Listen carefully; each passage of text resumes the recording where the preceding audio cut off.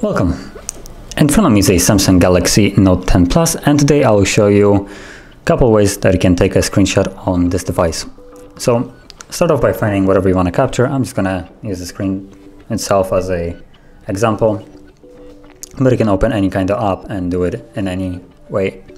So the first way would be probably the most common one uh, is volume down and power key.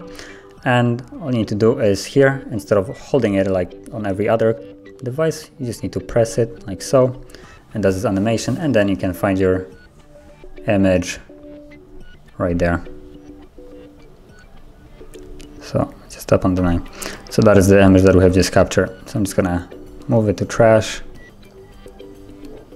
now the other way you can do it is by swiping your palm across so let me try to do it there it is seeing that it did it again so all you want to do is just swipe your palm across the screen. That is another way.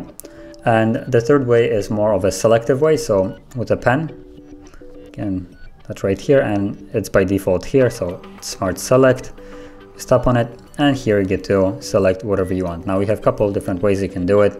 You can select it basically by a square, uh, your own or a circle. So I'm just gonna showcase everyone. So this one creates basically all like this. Um, let's actually, now whatever you select to capture, you can then tap here to download it. So another way to do it, let's actually, can I remove this? Try this again. Um, so if you go back to Smart Select, you also have this, which will allow you to specifically select whatever you want to select actually as you can see and, and then